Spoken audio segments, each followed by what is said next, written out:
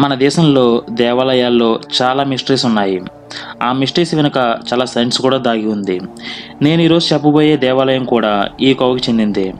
అదే యాగంటి ఊరిలో ఉన్న శ్రీ ఉమామహేశ్వర స్వామి ఆలయం. ముందుగా ఇక్కడ ఉన్న వింతలు చూద్దాం. మొదటిది అంతకంతకు పెరుగుతున్న బసవన్న.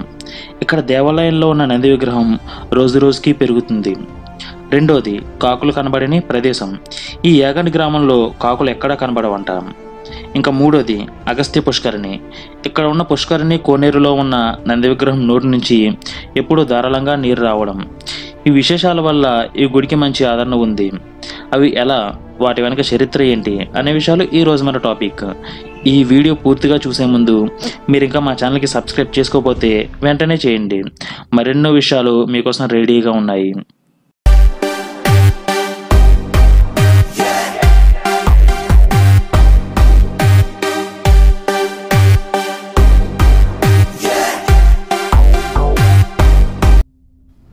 Let's welcome to our channel Suresh creative world సరికొత్త అమేజింగ్ వీడియోస్ మీకోసం.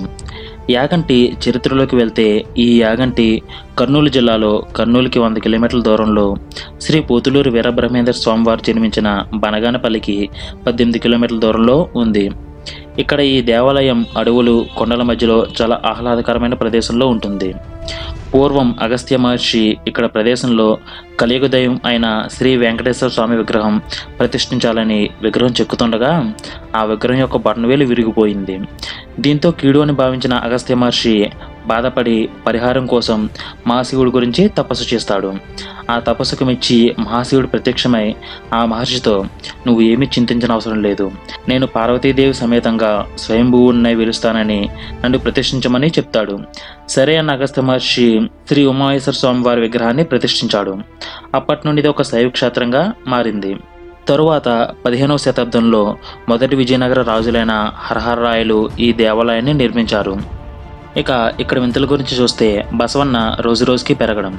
ఒక రాయి నిజంగానే దాని సైజ్ పెరుగుతుందా అంటే నిజంగానే రాయి పెరుగుతుంది. ఒక రాయి సిలికాన్ ఆక్సిజన్ కాల్షియం లాంటి మినరల్స్తో తయారవుతుంది. కాబట్టి వాటికి జరిగే కెమికల్ రియాక్షన్స్ వల్ల ప్రతి రాయి కూడా సైజులో పెరుగుతుంది. కానీ అది పెరిగే సైజు పది లక్షల సంవత్సరాలకి ఒక అంగుళం మాత్రమే. కానీ కొండ గుహల్లో ఉన్న రాళ్ళు నిరంతరం నీళ్ళు ప్రవహించడం వల్ల ఇంకా వేగంగా పెరుగుతాయి. ఇలా ఇవి పెరగడానికి కారణం సిలికాన్ కాల్షియంలతో పాటు ఆరగోనైట్ ఓపల్ చార్ల్స్డేని అనే ఇతర ఖనిజాలు కూడా తోడవ్వడమే. ఇక మన బసవన్న విగ్రహం విషయానికి వస్తే ఈ రాయి ఇరవై సంవత్సరాలకి ఒక ఇంచు పెరుగుతుంది. ఈ విషయాన్ని స్వయంగా ఇండియన్ ఆర్కాలజీ సంస్థ నిర్ధారించింది. ఇంతలా పెరగడానికి కారణం ఇది ఒక గోనుండి నుండి చేసిన రాయి కావడం. మిగిలిన రాయలతో పోలిస్తే ఇందులో మినరల్ శాతం ఎక్కువ ఉండడం మరి కలియుగంలో రంకి వేయడం అనే విషయం తెలియాలి అంటే కలియుగం అంతమైతేనే కానీ చెప్పలేం. దానికి ఇంకా చాలా టైం ఉంది. ఇక కాకుల విషయానికి వస్తే అగస్త్య మహర్షి శివుడి కోసం తపస్సు చేస్తూ ఉండగా కాకులు ఆ తపస్సుకి భంగం కలిగించాయి. అందుకని ఆ మహర్షి ఇక్కడ ఒక్కొక్క కూడా కనపడకూడదు అని శపించాడు. అందుకే ఇక్కడ కాకులు ఉండవు అని నమ్ముతారు. నిజానికి కాకులు మనుషులు సంచరించే ప్రాంతాల్లోనే ఎక్కువగా ఉంటాయి. అడవులు కొండల మధ్య తక్కువగా ఉంటాయి. ఈ దేవాలయం అడవిలో ఉండడం వల్ల కాకులు లేకపోవడానికి ఒక కారణం కావచ్చు. ఇక మూడవది అగస్త్య పుష్కరిణి.